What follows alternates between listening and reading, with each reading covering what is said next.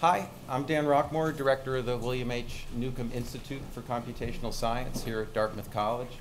And on behalf of the college and the Neukom Institute, I'd like to welcome you to this year's Fall Donoho Colloquium, the cross-partisan challenge uh, from Professor Lawrence Lessig of Harvard University. Uh, the Donoho Colloquium is an ongoing series of public lectures aimed at increasing awareness of the many important and sometimes surprising places in which computational ideas are shaping our lives. These events are made possible by a generous gift from David, Mickey, and Dan Donoho in honor of Dan's graduation as a member of the class of 2006. It's a central piece of the larger mission of the Neukom Institute, whose aim is to support and to integrate computational thinking and computational ideas throughout the Dartmouth community. The Institute itself is made possible through the generosity of Bill Neukom, Dartmouth class of 64, and a former trustee of the college. The projects and ideas supported by the Neukom Institute are computational in nature or in spirit, or sometimes both, and they span the spectrum of human interests. They come from and bridge the arts and humanities, medicine, the sciences, and the social sciences. They inform policy making and they enable efforts in social justice. But it's not only the explicit or, one, or what one might call the foregrounded outputs of the digital that are of interest. Arguably, even more significant are the ways in which thinking about our ever-changing digital world can lead us to reconsider the underlying background against which these new ideas are developed. Now, I'll confess that I hijacked this background-foreground language from a recent New Yorker profile of this afternoon's speaker. Uh, in it, Professor Lessig is quoted as saying, quote, I sometimes think that everything I've done has been about how context matters, the background, not the foreground. In the words of that profile, Lawrence Lessig is among America's most influential theorists on the intersection of law, culture, and the internet. But that's only part of it. Lawrence has in fact made a life of seamlessly and relentlessly moving between academia and activism so as to enable us to realize the extraordinary potential for social and creative transformation embedded in the digital environment and society as a whole. As many of you know, Professor Lessig is co-founder of the Creative Commons, which makes possible the attachment to creative products, a form of copyright better suited for our networked and digital world. It takes on the problem of remaking the relevant legal structures to better fit the realities and possibilities of today. The vision statement for the Creative Commons is particularly illuminating. It reads in part, quote, our vision is nothing less than realizing the full potential of the internet, universal access to research and education, full participation in culture, to drive a new era of development, growth, and productivity, end quote. Taking, to its taking it to its logical conclusion, the goal of full, particip of full participation, not just in culture, but the society as a whole, in conjunction with internet-inspired ideas such as crowdsourcing this suggests the path from the Creative Commons to Professor Lessig's most recent forms of collective action, such as the Rootstrikers organization and the May Day Political Action Committee. And it brings us to the subject of Professor Lessig's lecture today. Lawrence Lessig holds a BA in economics and a BS in management from the University of Pennsylvania, an MA in philosophy from Cambridge, and a JD from Yale. He's now the Roy L. Furman Professor of Law at Harvard Law School and director of the Edmond J. Safra Center for Ethics at Harvard University. Prior to rejoining the Harvard faculty, Professor Lessig was a professor at Stanford Law School, where he founded the school's Center for Internet and Society, and at the University of Chicago. He clerked for Judge Richard Posner on the Seventh Circuit of Appeals and Justice Antonin Scalia on the U.S. Supreme Court. Professor Lessig still serves on the board of Creative Commons and is on, other, and is on various other boards, including the Sunlight Foundation, whose mission is to promote openness in government. He's a member of the American Academy of Arts and Sciences and the American Philosophical Association, and has received numerous awards, including the Free Software Foundation's Freedom Award, Fastcase 50 Award, and being named one of Scientific American's top 50 visionaries. In addition to his many essays and articles, he's the author of a number of well-received books, including Free Culture, which was listed among the best books of 2004 by Businessweek, and most recently, Republic Lost. I was happy to discover that both of these books are, in fact, fully available for free online under a Creative Commons license. Please join me in welcoming our Fall 2015 Donoho Colloquium lecturer, Professor Lawrence Lessig.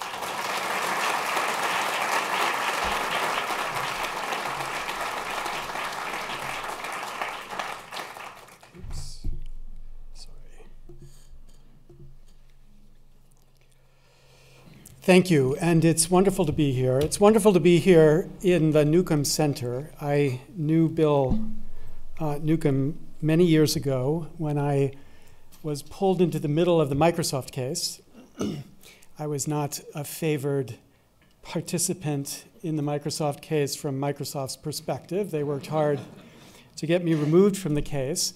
Uh, but the battle at the time was its own kind of partisan challenge because what they charged me with was the great sin of using a Macintosh computer, which of course marked me as a crazy radical, not qualified to serve as a special master in the case. But I had extraordinarily warm and generous exchanges with Bill for many years after that, and then I had the honor of teaching his son when his son was a student at Stanford. And so I'm very happy to be back here to continue a conversation that I hope um, is as respectful and edifying as any that I've had with Bill before. Now, the question I want to talk to you about, I want to introduce with a little bit of context, not in the background, but in a different continent. I'm sure many of you still remember the days before Ebola when there were these protests people were focused on in the Hong Kong district. Protests where thousands of students and then hundreds of thousands of Hong Kong residents turned out to criticize Hong Kong's proposed method for selecting their governor, their chief executive. As 2007's promise from China was that by 2017, Hong Kong would be able to elect its chief executive. At the end of August, China specified the procedure by which that chief executive would be selected. And what Hong Kong was told was, quote, the ultimate aim is the selection of the chief executive by universal suffrage upon nomination by a broadly representative nominating committee in accordance with democratic procedures. Now, that nominating committee was to be about 1,200 Hong Kong residents, which means about 0.0424% of Hong Kong, got to sit on the committee that would ultimately select the candidates who got to run in the election to be governor. So Hong Kong's democracy looks like this. There would be an election where all citizens get to vote. But before the election, there's a nominating process where the 1,200 got to vote. You had to do well in the nominating process to be able to run in the election, a two stage process with a filter at the first stage. Now, it's this structure that triggered the strike throughout Hong Kong, because as many said, this 1200 was going to be dominated by a pro Beijing business and political elite. In the words of Martin Lee, chairman of the Hong Kong Democratic Party, quote, we want genuine universal suffrage not democracy with Chinese characteristics. Okay, that last phrase is the one that triggered my interest in this story. Because the question is is this really a democracy with Chinese characteristics? And I think the answer is it isn't, unless Boss Tweed was an ancient Chinese prophet. Because as Boss Tweed said, I don't care who do, does the electing as long as I get to do the nominating. now, we could call such a structure Tweedism. And we can say of Hong Kong's structure, it's a perfect exemplar of Tweedism. But I want to think a little bit about Tweedism in America. First, think, for example, about the Old South. In 1870, the United States did what literally almost no one 10 years thought 10 years before thought it would do. It passed an amendment to its constitution that said the right to vote could not be denied on the basis of race.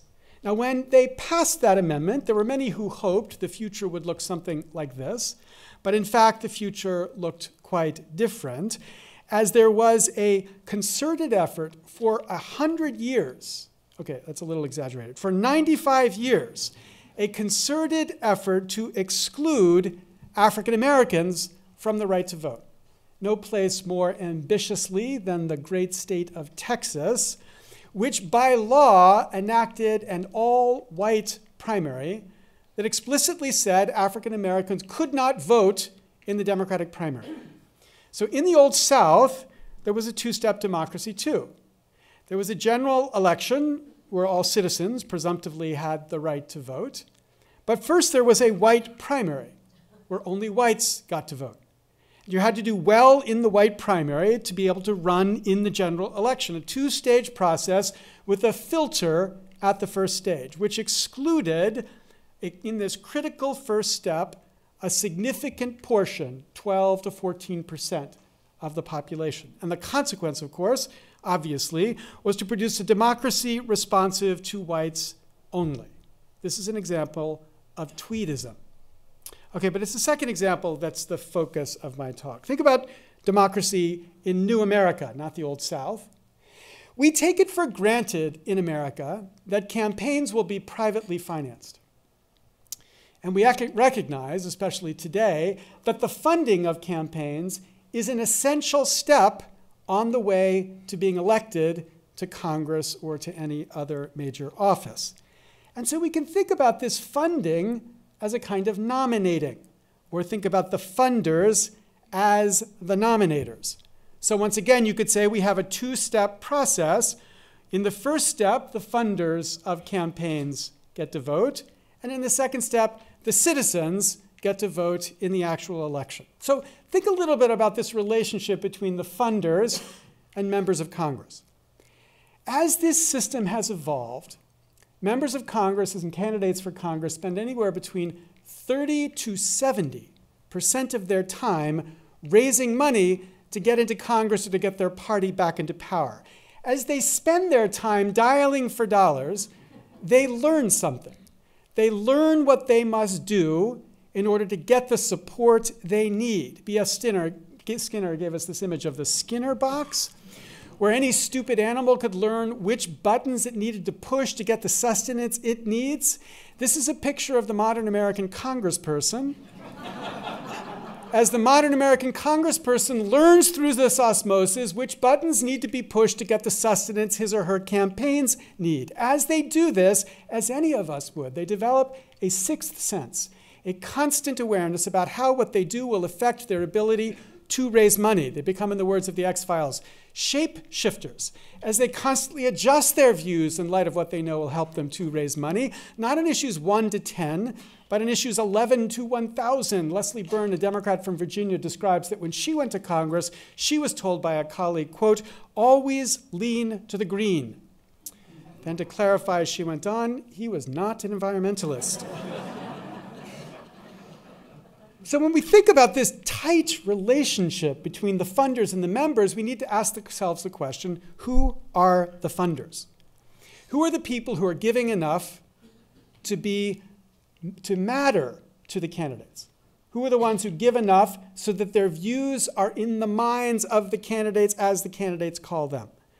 And the answer is, in the research I did for my book Republic Lost, it's no more than about 0.05% of America are the relevant funders of campaigns. That's about 150,000 Americans, which the internet tells me is the same number of people as are named Lester in the United States, which is why I called my TED Talk Lesterland, describing the democracy of the United States.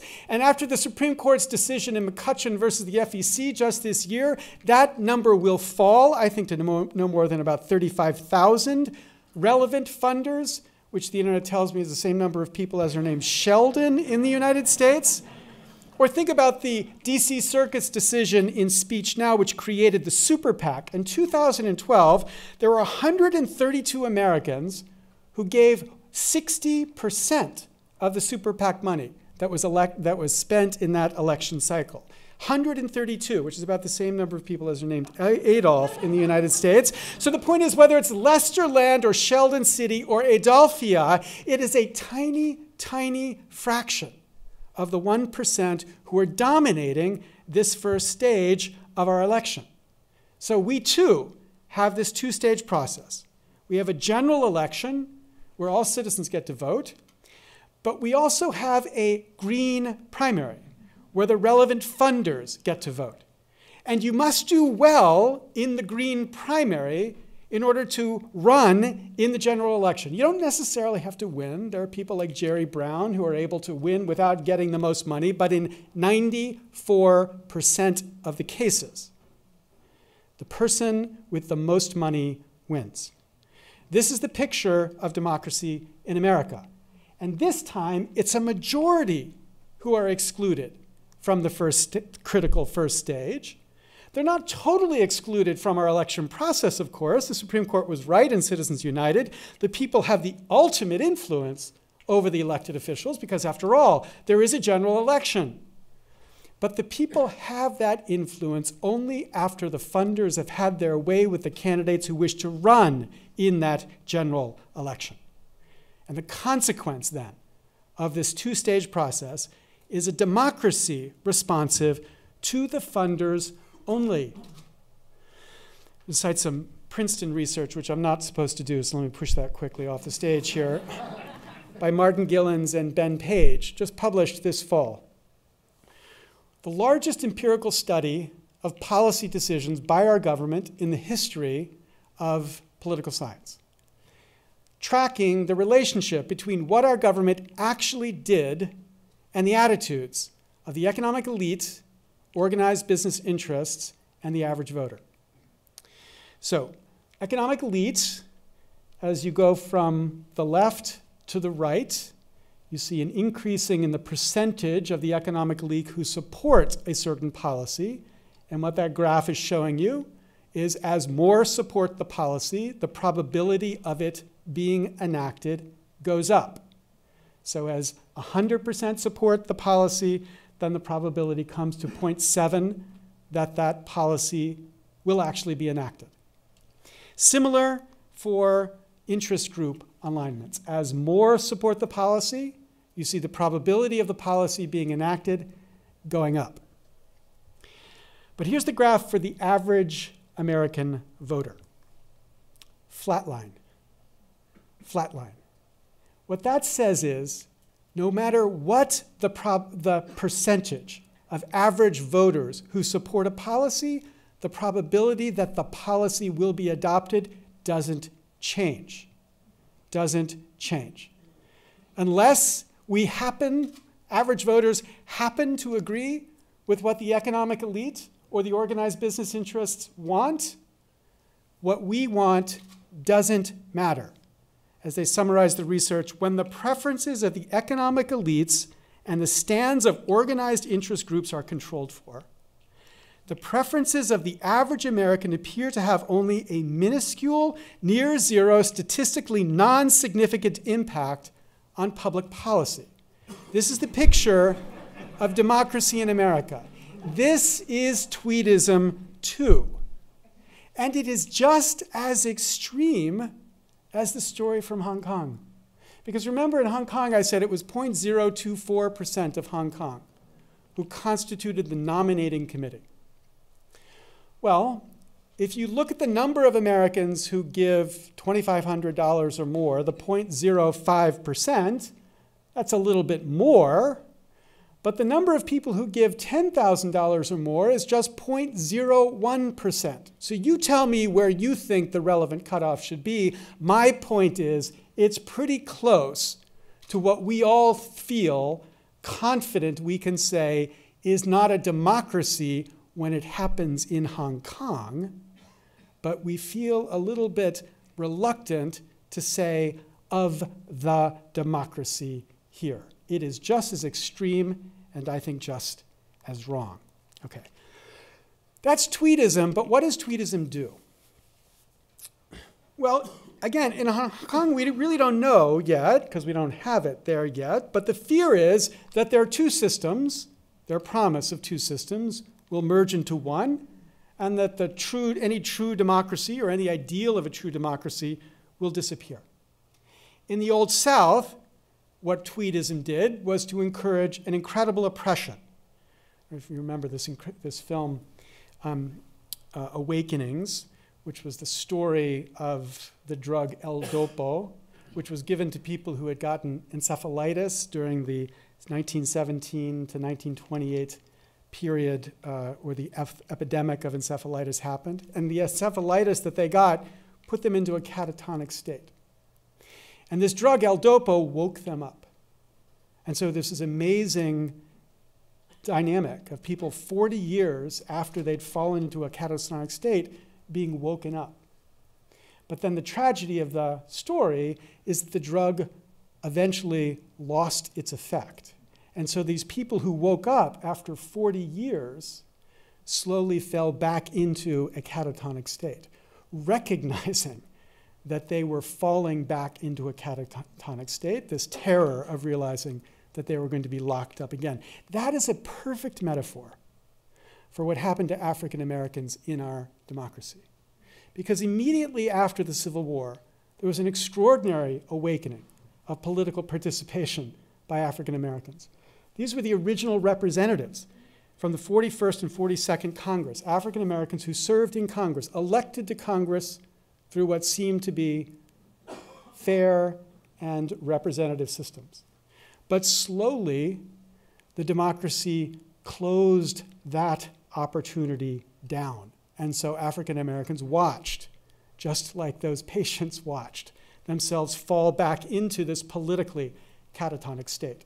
Until, as Robert Caro could describe in 1957, an African American trying to vote would face, for example, something like this. They would have to qualify to vote.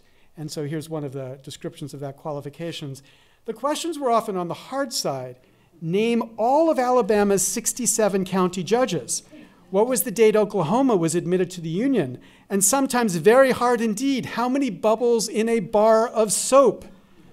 These were the questions an African American had to answer because he wasn't qualified by the grandfather clause in order to be entitled to register to vote in the South in 1957. So the life of African Americans under Tweedism was a life of increased oppression. It was a quote democracy for them, totally unresponsive to blacks because blacks were just not a part of that democracy. And then in New America, there are two effects of Tweedism. Number one, this is the democracy unresponsive to the average voter. That's the point of the Princeton study. But the point to recognize is it's true whether you're a Republican or a Democrat. It is unresponsive to you whether your views are on the right or on the left. This is a perfectly nonpartisan unresponsiveness. And you might say, hooray, finally, something nonpartisan. But you should say, terrible, it's unresponsiveness that is being nonpartisan here. It is non responsive to us regardless of our political persuasion. And number two, it is unresponsive, period. It is incapable of responding, period, the way the system has evolved. This is Francis Fukuyama, whose in Reese's most recent book, The Political Order and Political Decay, describes what he considers the American democracy to be. He says it's not really a democracy not an aristocracy, not a plutocracy, not even a kleptocracy. What America has become is a vetoocracy, a vetocracy. And what he attributes it to is something the framers gave us the system of checks and balances, plus the evolution to this incredibly polarized political culture. And those two things produce what he describes as this disaster for governance because it's trivially simple, he says, to stop any reform, whether it comes from the left or from the right. Now, I think his description is true, but it's incomplete. You have to add to that description one further element the role of money in politics. Because that dynamic exacerbates the problem of polarization and checks and balances. Because the framers of our government, of course, didn't give us a democracy, not a pure democracy, they gave us a complicated democracy. They were kind of the Swiss watchmakers of constitutional design. Very intricate system for balancing influences so that when our Congress did something, at least you were confident it represented a significant majority. But imagine now pouring some honey right down into the middle of that complicated Swiss watch like design, because that is precisely the effect of this system of funding elections. Because when you have a system where such a tiny, tiny number ever, exercise such incredible control over the funding in that first critical stage of the election, what that means is that a tiny fraction of that tiny number, and I mean really, really tiny here, tiny, tiny number, have the power to block reform. They can leverage their funding influence to block the reform, which means that change, really any change, whether it comes from the left or right, will fail. So I don't care what your issue is, whether it's climate change or tax reform or the debt or financial reform, whatever your issue is. What this vetocracy means is that the change to make that reform possible cannot happen given the way we fund campaigns, which means until we change how campaigns are funded, sane policy here is just not possible. We are like the bus driver who has lost the steering wheel from his bus, incapable of steering regardless of the direction. So, again, we can say it's not just the fact that policy doesn't track what the average voter wants. That's the Princeton point. Just as important is that sane policy, regardless of its source, will fail. This is what tweedism in America does. It is what democracy in America and corruption in America is. Okay, now, what can be done about this problem? At an institute like this, the natural instinct is to embrace the idea that the internet is going to have an important role in fixing this problem. And my view is yes, that's true. But can it fix the particular flavor of this problem as it relates to the polarization of our political culture? And to answer that, I want to shift a little bit and talk a little bit about something from the theory of the way the internet has developed in society. Or you could say, I'm going to tell you about something that is. And now for something completely different. Completely different. So this man is Dan Bricklin. Dan Bricklin is the inventor of VisiCalc, which of course was the first spreadsheet which made um, the nature of the PC essential to all business across America. And Dan Bricklin wrote this incredible piece in mid 2000s, the Cornucopia of the Commons. And this was a piece about Napster. You might remember Napster, the service that enabled people to get music for free. And what he was responding to, Bricklin, was a certain attitude that existed in the internet culture about Napster and what Napster represented. So um, um, uh, my friend Corey wrote about Napster and said Napster represented the largest library of human creativity ever assembled. And he romanticized the idea that humans had come together to build this amazing cultural archive and this kind of social communist like. So, and what Bricklin says is it's total BS. But there's nothing romantic about what happened with Napster. No altruistic sharing motives needed to be present to explain what happened with Napster. Because the public good that was produced, this incredible archive of music that people could get access to for free, the largest library of human creativity ever assembled, was a byproduct, a byproduct of giving people what they wanted.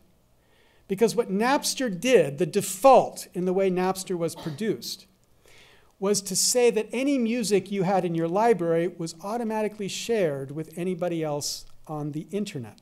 You didn't choose that, that was just the default. And so, what that means is the default is the thing that produced the public good, the design of the product, not some desire of individuals across the internet to work to the common good of building some huge archive of music. No altruistic sharing motives need to be present to explain how Napster produced this extraordinary resource for all of us to share. And Bricklin goes on to say it's the same with basically every single interesting internet phenomenon. So CDDB server was a server where if you put your CD into your computer, it would automatically identify the songs on that CD and tell you who produced the songs and all this interesting information. This too was produced in the same way, not by people volunteering all their effort to produce this huge database, but because as they tried to get access to information about their music, they would make that information available to others as well. The designer of this, Evan Williams, uh, put it we wanted to design the database so people use the data they enter, thus increasing their incentive to get it right. And as they get it right, it made it available for everybody else. And Evan Williams went on to invent Twitter. He's the person behind Twitter. So he has a pretty good idea about how to get people to do things that produce enormous value, at least for him. So here we have a public good, which is just a byproduct of this private good. That's the point that Dan Bricklin was trying to make. And what that point raises is a pretty fundamental question Can reform be a byproduct? Can the kind of reform that the problem that I've described be a byproduct of giving people something that they want on the internet? Can we use the internet in some way to motivate people to support this idea of reform? Now, there's lots of reasons for hope. You know, all sorts of things that go on in the internet that get people incredibly excited, and we think we're going to have a revolution just around the corner because of what the internet's enabled. So there's lots of reasons, yes, to be hopeful about this, and I've participated in this song fest for hope. So last year, almost a year ago exactly, I posted on my blog this idea of organizing a march across New Hampshire in January. Okay, objectively, the craziest idea you could possibly have, but I said, let's try to organize a march across New Hampshire in January. This was behind something called the New Hampshire Rebellion. And what we said was, in order to support a movement for reform, we were going to start in Dixville Notch and watch all the way down to Nashua 190 miles, um, rallying people to this idea of reform. Totally crazy, just posted on a blog. But in fact, on January 11th, a bunch of us started, more than 200 participated, and by two weeks later, we were in Nashua, a total of 220 having participated. We crossed 207 having participated, um, having 20 people who do every single mile youngest people walking were 10 year olds. The coldest place was the capital. That's not surprising, perhaps. 10,000 people recruited to the New Hampshire Rebellion, all of it out of a simple call from people across the country to rally as the internet made it possible. And after doing that crazy thing, then I had the idea to do a second crazy thing. In March, I announced at this TED Talk we were going to do this thing called May Day, a super PAC to end all super PACs. We launched it on May Day, kind of double meanings to get you to think a little bit about what it is. But what it means is May Day for our democracy, meaning we need to call a May Day on this democracy. And the idea behind May Day was that we were going to find a way to elect a Congress committed to fundamental reform by 2016. How are we going to fund it? Well, in the first cycle, I said we just kickstart it, which means we would crowdfund it. So, sort of Kickstart, because you can't use Kickstart for politics, but the idea is we'd raise half of it from the bottom up, and then we get that half matched from the top down. So we succeeded in crowdfunding $6 million. We said we'd raise a million dollars in 30 days. We did that in 13 days. Then we said we'd raise $5 million in 30 days. We raised that exactly on the 30th day, which was July 4th at 9 p.m. Just as the fireworks were breaking out all across the East Coast, we crossed the $5 million mark. And then we got most of that match, so we're now at about $10.5 million. An incredible effort to fund the experiment of trying to demonstrate people care enough about this issue to elect people who will vote for reform. That kind of example, plus thousands of examples, give us hope that the internet is a platform that would make this kind of change possible. But here's the fear the internet is creating what we could think of as exopolitics, exo as in external to the political system, supports the political system, but kind of on the outside. But the problem with this exopolitics is it is polarized. Just like everyone, like politicians, political parties, the media, the dot .orgs, the exopolitics of the internet practices this business model of polarization. Business model of polarization, which means they profit, we profit, the more we divide, the more one side can teach their side to hate the other side, the more profitable it is for that one side, the more easy it is for that one side to grow. So we're kind of this polarized culture, so polarized but very cool. That's the way the internet has developed and exacerbated the polarization that exists already within our political society. Now, that is a problem because, with the sort of changes that we need to bring about to deal with this fundamental corruption in the way our government works, polarized will fail. If we're going to take on this cancer, which is DC, it must be through a cross partisan movement, not a bipartisan movement, but a movement that cuts across partisan lines. A movement that doesn't require you to believe that you have to be a Democrat to support this or you have to be a Republican to support this, that instead allows you to believe that it doesn't matter whether you're a Republican or a Democrat, you can support and ought to support reform. We cannot win this fight if it's in a polarized frame. And that polarized frame is what it seems to be in right now. Okay, so that's a fact about how we get reform. Let's bring back Dan Bricklin for a second. If this story of the cornucopia of the commons is possible, is it possible to imagine the cornucopia uniting us, bringing us together rather than forcing us apart? And the problem is when you think about the mechanism of internet activism, this kind of grassroots, ground up, peer to peer activism, all that's exciting and lots of activity that it makes manifest, but if in fact we get public goods as a byproduct of private goods, if that's what Dan Bricklin has taught us, the byproduct here is produced by people sharing with each other what they like. But what does that mean? That means people are rallying people like them. They're rallying people like them to their cause, which means people at my political pole get rallied together, and people at your political pole get rallied together. But the rallying is not bringing us together, it's just reinforcing our separation. And what that means is that the internet is not going to function as a solution to polarization, at least the way we've seen it develop so far. And so the question is is there a way to imagine it? Can we imagine depolarization as a byproduct? And the truth is, I'm not sure how. I mean, there's a certain commitment that's required here. Not just getting what you like, it's a commitment to do things that are uncomfortable, what feel unnatural, to act with a certain kind of risk, the risk that what you say or do produces an unlike from another friend or a defriend from another person, that you act in a way that tries to bring people together, but in a context where that feels incredibly uncomfortable.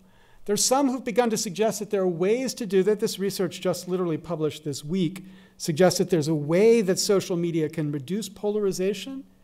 But I think we have to say that it's not clear. It's not clear that the internets have ever done this.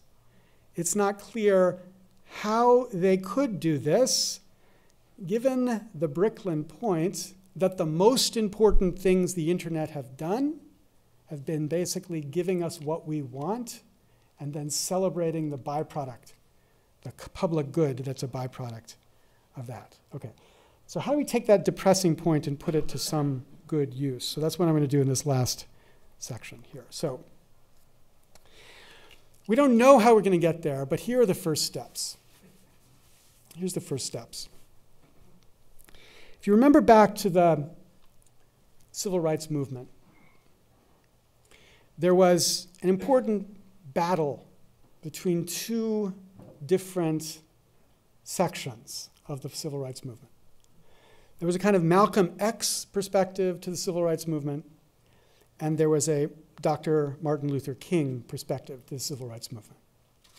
And what Malcolm X said was it was critically important to rally African Americans to the cause of civil rights. And the best way to rally them was to get them angry, to get them furious with the existing system. And if that produced violence, then so what? Violence was a byproduct of a violent system.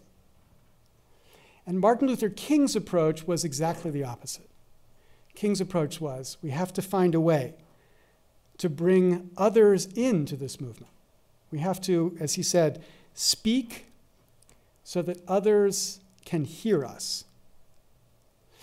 Now, when we look back on this history, we kind of think that King was the one who was right, because King's version ultimately facilitated what was the successful civil rights movement in the 1960s. But I think we should recognize, in some sense, both were right. We had to both motivate people to try to bring about change and then engage them so that they would bring about the right kind of change. And I think that's true here too. When we think about this corruption that has stopped our government from having the capacity to govern, I think we have to find a way to motivate people to want to be involved in fixing it. And we have to find a way to engage people in the project of fixing it. In the engaging process is the one which everyone in this audience is capable of participating in. Because the engaging process is about a certain discipline. It's about speaking about this problem in a way that allows other people to hear, so that other people can listen to you and understand what you're saying. Because in a world divided by politics embracing these two extremes, what we need is a frame that allows both sides to hear and that doesn't force either side to run away.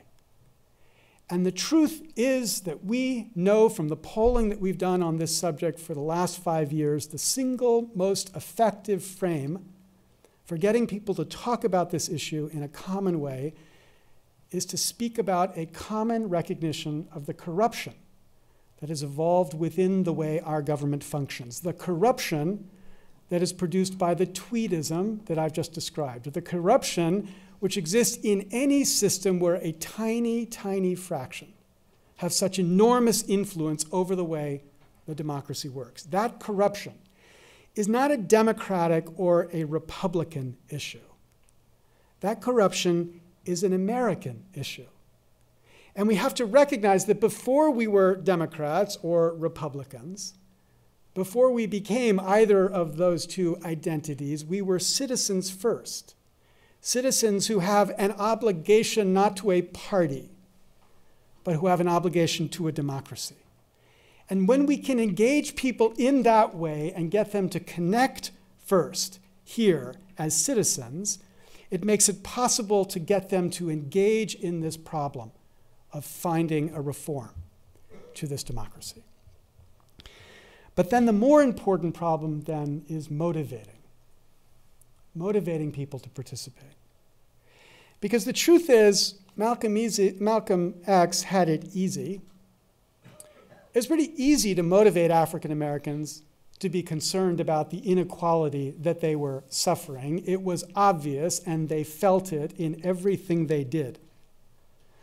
But it's pretty hard to motivate people to care about this corruption because it feels so removed, it feels so impossible. We've kind of resigned ourselves to the reality of a government that is corrupt. We did a poll last year where we found 96% of Americans believed it important to reduce the influence of money in politics, but 91% said it wasn't possible.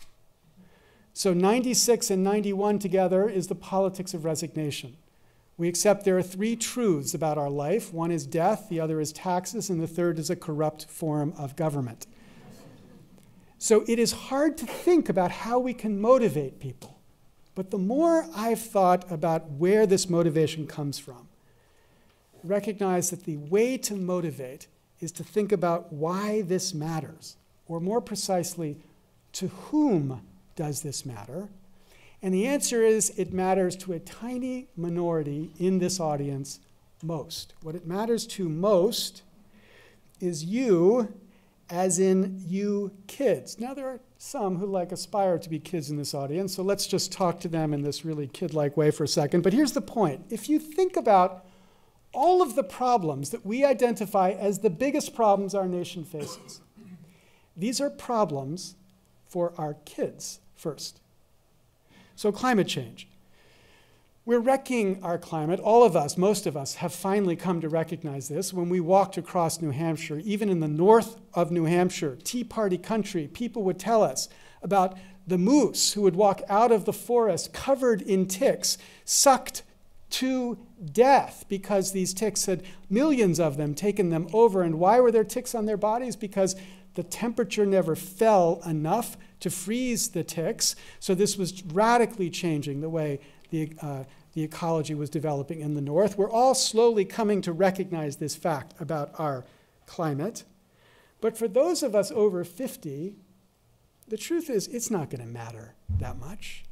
I mean, we'll hear about it. Al Gore will parade around about it for the next 20 years. No doubt it will be an issue we talk about, but it's not going to matter that much for us the real burden of climate change is going to be for them. We're thinking about the debt. We've literally lost the political capacity to deal with the problem of the debt, either by reducing spending or increasing taxes. Either way, we don't have that political capacity anymore. We are literally borrowing money from our kids. Now, that's good for us. Thank you to those children for that great gift they're giving back to us, but it's not great for them.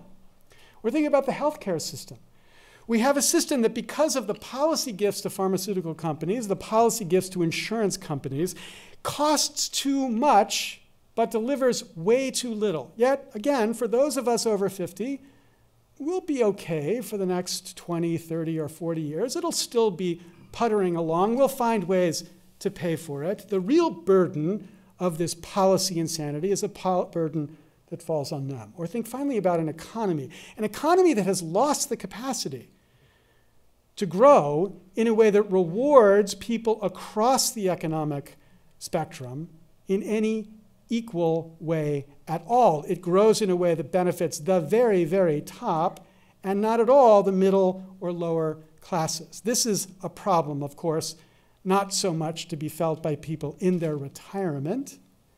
This is a problem that will be felt by them. And when these kids recognize that the dynamic of American politics to them is an us versus you, us, those of us 50 or over, versus you, these kids who will suffer because we have lost the capacity to govern, they will increasingly be motivated to do something in response. Now, the, the truth is, we're not evil here, those of us 50 or over. We're just pathetic. pathetic. We're not actively taking something from our kids. We're just sitting by and doing nothing as this corruption corrupts the ability of our government to deal with these issues that are fundamentally critical for our kids. We're not Nazis in this story, we're the good Germans in this story who sit by passively as a real wrong happens that we all recognize is wrong, and yet we do not stop. We need to recognize the harm we do. And we need to find a way to work with them, with the youth, because it's you, as in the youth, who are going to have to save the youth. It is that political movement that will motivate. And that brings me back to the story that I started. Because that's the incredible story in Hong Kong. It's not that there was a protest of hundreds of thousands of citizens, it was that it was a protest begun by students. Literally, children. There were kindergarten children who were sitting in protest in the streets of Hong Kong. And eventually, their parents felt guilty that it was the kids protesting for a true democracy that brought the parents out to produce the hundreds of thousands who were protesting. So the question here is not why are they protesting? Seems pretty obvious. They want a democracy, and they know what they have to fight in order to get it. The real question is why aren't they, as, our, as in our kids, protesting? Or why aren't you protesting against the structure that denies to us the democracy that we were promised. Now, I've spent many years, now eight years, trying to rally my kind to this cause. My kind meaning most of you, meaning those of us who remember the 1960s. My kind. But the more I think about this, the more I recognize that our only real hope here is that if we can find a way to rally not us, but them, our kids. And this is the moral charge for us. Because the moral question of our time is can we reclaim a democracy? Not for us. We've had our time. In some sense, we've wasted what we were given.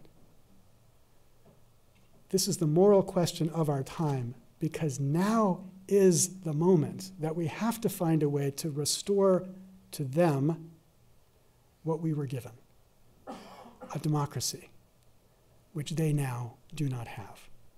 Thank you very much.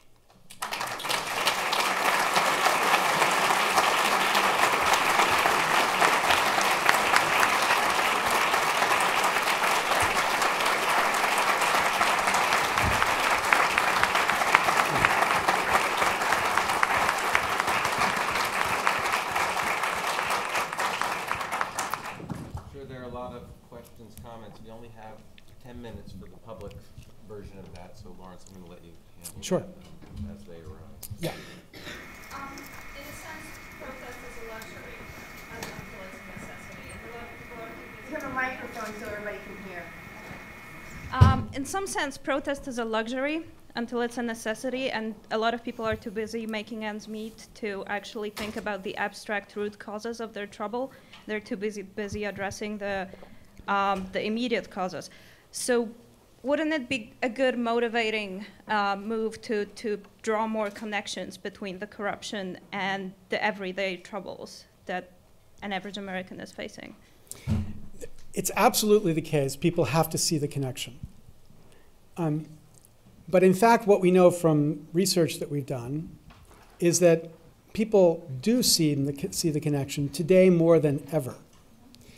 Um, and the problem isn't so much recognizing the dynamic that is producing the failure of our government to work, it's believing there's anything they can do about it, believing there's some reason to try to step up and do something about it. And again, I think this relates to, um, you know, what it is to grow up. Like at, at our age, my age, now I'm not speaking for you, my age, you know, we kind of learned this is the way the world is. What are you going to do? But if you're 18 or 20 or 22, you haven't yet learned. you don't yet know enough to know this is the way things have to be. And that's the ignorance.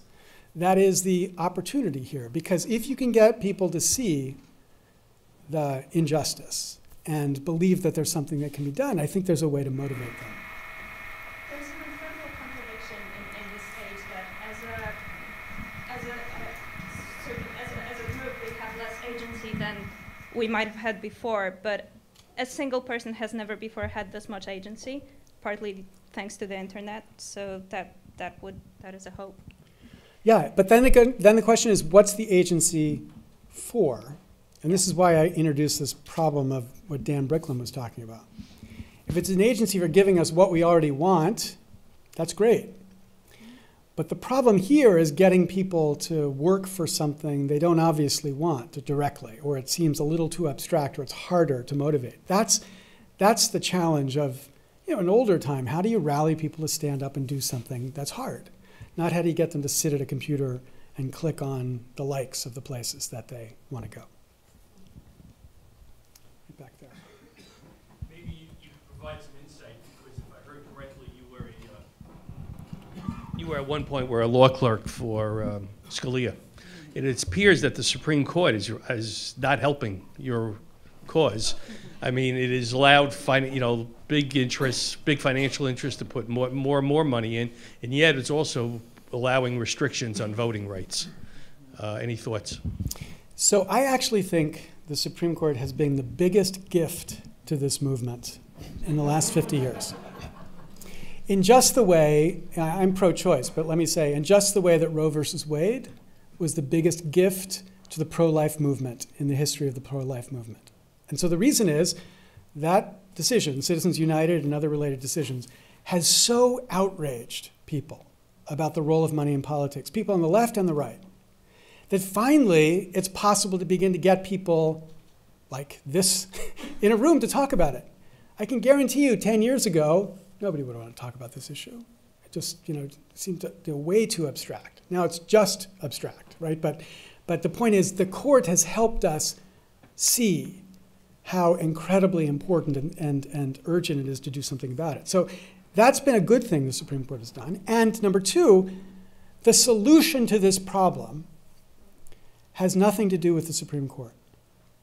Right? So if the problem, as I've described it, problem of tweedism, is that there's a tiny, tiny number who are funding elections, the only way to fix that is to change the way we fund elections.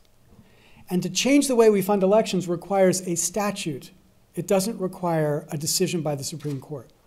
And all of the most prominent ways to change the way we fund elections, for example, Government by the People Act, as proposed by a guy named John Sarbanes, would give matching grants to small contributions. So if you give $100, it's worth $1,000 to the campaign.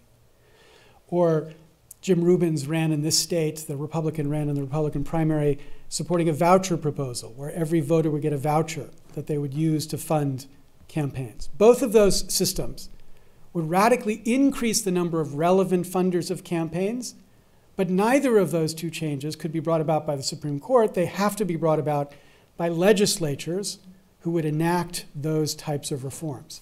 And if they enacted either of those two reforms, the Supreme Court would, see, would not begin to stop, do anything to stop it. These, those reforms are perfectly constitutional according to the Supreme Court. So I agree with you, the Supreme Court has made some very bad blunders. But I believe those blunders have helped us build the beginnings of a movement to do something about it. And those blunders will not stop us from making the most important change necessary, namely bringing about the change in the way we fund elections.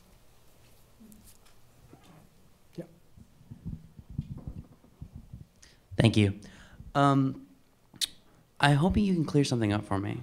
I see your point about vetocracy and how the ease of preventing change makes it very difficult to cause change. That's easy. And I see your point about the underrepresentation of voters in the way that we nominate by funding our elected representatives. Can you speak more about the connection between the two? That is, how does this tiny, tiny portion of America picking nominees create vetocracy and create stagnation where we know there are conservative super PACs and liberal super PACs, and both parties at least have roughly equally magnitude funding. So it would not appear that one side is benefiting from this, and maybe this is where you were talking about how it's partisan neutral. Can you talk about how Yeah. our nomination process creates stagnancy? Yeah, great question. So it looks like we've got political power on both sides. David Brooks' recent column in the New York Times kind of made this point. He said, we've got, we've got Democrat super PACs, we've got Republican super PACs, so it balances out. There's no real problem here. But um, how many super PACs are dealing with the problem of unemployment? Or how many super PACs are dealing with the question of whether um, there's affordable dental care in our society, right? Um, how many people who run super PACs have even ever thought about the idea of not having health care one month to the next? So my point is, the super PACs are operating on the left and the right, but they're worried about a tiny slice of the issues that most Americans care about because they're focused on the sort of things that the sort of people who give to those super PACs care about. And the people who give money to the super PACs are not the average voter. I mean, here's a illustration I can captures the point. If I asked you, what was the number one issue Congress addressed in, two, in the first quarter of 2011? You know, in the middle of two wars, huge unemployment crisis. Um, we were facing a debt crisis. They were about to shut down the government because of the debt. So, at that point, um, what was the number one issue that had the most time on, in, on the floor of Congress and the most time in committees? And the answer is the bank swipe fee controversy. So you don't even know what that is, right? Because you're a normal person, right? So a bank swipe fee controversy is when you use your debit card, how much do the banks collect and how much do the retailers have to pay? Now, why was that the number one issue that Congress addressed? Because I can guarantee you there's not a single congressperson in the history of Congress who ran for Congress because he or she cared about the bank swipe fee controversy. Nobody went to Washington to deal with that problem. That was the number one issue they addressed because that was the number one issue that these large funders cared about. And if you stood on the floor of Congress and you leaned a little bit one way or leaned a little bit the other way, millions of dollars would rain down upon you by the interests that were eager to get your vote one way or the other. So that's where the money is having its effect. It's steering the agenda and the issues in a way that responds to those funders. But it's not steering it in a way that's responding neutrally to what Republicans care about or Democrats care about. And again, as you think about the particular reforms Republicans want, like tax reform, it's easy to see how you can never get tax reform, I think, until you change the way you fund elections, because the complexity of the tax system is designed to make it easy to raise money for members of Congress running for Congress because the complexity are gifts or burdens in the tax system that then are moments for fundraising to support. And if you care about things on the left, I don't know if that's climate change or financial reform, whatever it is, it's the same dynamic. So the point is, the substantive issues people care about aren't going to be reflected in the system until we change the way we fund elections. And given the way we fund elections, yeah, you have pressure on the right and pressure on the left, but it's not representative of what the people care about. And again, that's the thing that the Princeton study demonstrates. They're responsive not to Republican issues or Democratic issues, they're responsive to elite issues, not to average voter issues. Yeah. You talk about how there's this voucher system that's been suggested and how there's uh, um, a matching system that's been suggested, but it seems like that's, oh, thanks. It seems like that's a long way from where we are right now, certainly since we're in this very stagnant system and we have been for such a long time and we're, we're facing decreasing numbers of people coming out to the polls even. So what kinds of things can spur America, in your opinion, towards actuating change and towards those goals? Right, so it seems like we're a far, long way away, although the matching fund system, the Sarbanes Government by the People Act, has 170 co-sponsors in the House right now. Um, it takes 218 to pass. Um, so what I think we need is to begin to build the movement towards this kind of reform. So what the Mayday PAC did is we said we're going to do this in two steps. In the first election cycle, 2014, we're going to run in a small number of races, kind of pilot, very diverse range of races, Republican primaries, Democratic primaries, challengers, incumbents, and we're going to demonstrate that we can move voters on the basis of this issue so that we can calculate how much it would cost in 2016 to win a majority committed to fundamental reform. So, in two weeks, tomorrow, we'll have completed all those races and we will see how we've done, won or lost, or what it actually costs. And, and my bet is that after that's done, we're going to have a bunch of surprises that's going to change the way people in Washington think about whether voters care about this issue or not. Because the standard view in Washington is that Americans don't care about the corruption of their government. And I think the reality is Americans care about it, but they don't think there's anything they can do about it.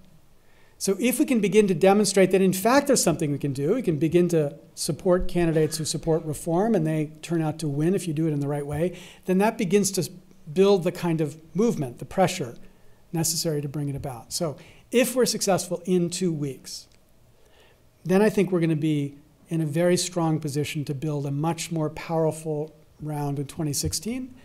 And if we can build a powerful round in 2016 towards this issue, then uh, I think there's a chance that in 2016 we can get the Congress committed to it. Now, in this story, New Hampshire has a critical role.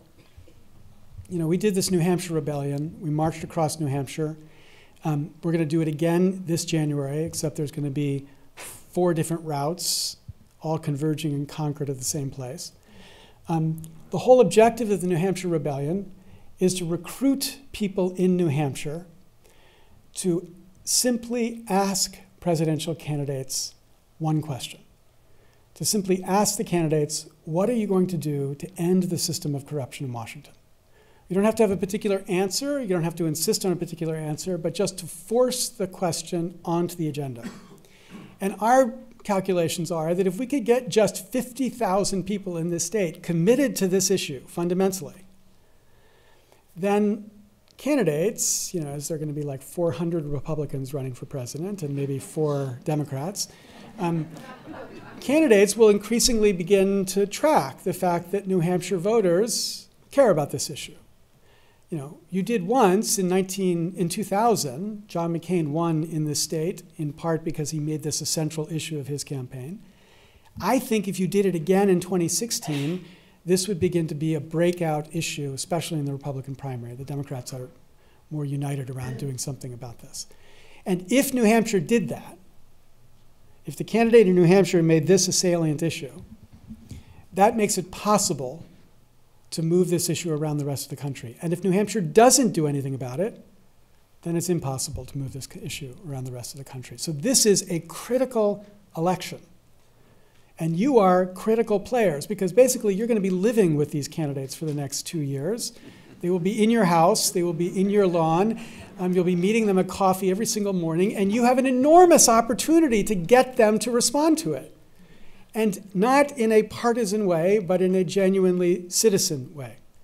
Um, one of the most you know, rewarding meetings I had was with um, uh, Doug and Stella Scamman, who are the two leading Republic, they're two leading Republicans. Every Republican candidate seems to announce at their farm. So Romney did, uh, uh, Scott Brown did, uh, George W. Bush did. So they are key Republicans. But that, Doug Scamman said to me, the way you need to get people to think about this is exactly what I said to you. Not a Democratic issue, not a Republican issue, an American issue. If New Hampshire can talk about it like that and get people to think about it like that and get Republican and Democratic candidates to respond to it like that, it will become an American issue. But only if you step up and actually say something and do something about it. One more question One more question here. over there. Yeah, Mark. So accepting all of your uh, premises here and looking to the cross-partisan challenge, what do you think the best outcome of the coming election would be? Uh, a Senate that's taken over by the Republican Party, so that's all one party and can do more stupid things? Or a continuing divided Congress uh, that leaves cross-partisanship an open possibility? So I think we got to focus on this not at the party level, but as on the commitment level. Like, where can we get commitments on this issue? Because we're not going to win this issue with Democrats only, and certainly unlikely to win this issue with Republicans only. Um, but I think there's a way to move this issue so that it's open for Republicans to begin to embrace it, and it's open for Democrats to continue to rally behind it. So in this election cycle, what we hope happens is that in these races that we're running in, um, we've got one race in South Dakota Senate, we've got a race in supporting an independent in Kansas. We're taking on a chairman of the Republic of the um, Energy Committee in the House, a Republican Fred Upton in Michigan. Um, we have an open seat in um, Iowa. We're supporting a Republican in North Carolina. Um, we're supporting Carol Shea Porter here in New Hampshire. Um, in this mix of races, all very different, if we can win a substantial num of, number of them and show how our issue moved people, we create the kind of support in Washington and outside Washington to build the much bigger election in, uh, campaign in 2016. And you know, obviously, nobody's talking about this as a national issue right now. But if we take out one or two of these incumbents, I guarantee you this will be a very salient issue talking about it in 2016. I, you know, in Michigan, we've had this wonderful dynamic where we took on Fred Upton, an incumbent. He um, was so angry that we were challenging him. Like three weeks before the election, we announced we were spending one and a half million dollars. Um, he only had a million dollars in the bank, so he was a little bit caught short. Um, on the basis of this issue, because he has not been a reformer and he stopped reform, um, his first reaction was to call all of our large funders. You know, we have 50,000 funders. 75 have given large contributions, but 50,000 have given small contributions. So he started calling our large funders and saying, I can't believe all the things I've done for you, you're now supporting an organization that's opposing me. Now, most people think there's something a little bit fishy about a committee chairman implicitly threatening people because of their political support for an idea. And these people call us and say, I'm in terrible trouble now. And I said, Well, why are you in trouble? Because we need him. We need him for votes on immigration. We need him for, and now he's angry with us and he's going to punish us. And the response is, Well, this is why this system's got to change. This is exactly what's wrong with this system. Uh, and the kind of extortion, implicit extortion that's allowed in the system is a product of big money in the system. So we're using big money to change that big money. Um, but if we're successful, then the dynamic that exists right now will have to change. Um, so um, if Fred Upton loses, um, I guarantee you 2016 will look a lot different. If a couple of these others were able to win, that's going to be very different. But again, the most important thing that can happen between now and 2016 is right here with people like you in this room beginning to say, okay, it's finally time we take this issue up again and do something about it. And if you do, um, I think there's uh, all the chance in the world that we, that we can prevail in 2016. And in the meantime, come walk with us across New Hampshire in January. It's beautiful. I can't tell you, it's really beautiful. A little cold, but it's beautiful. Lawrence, thank you for inspiring.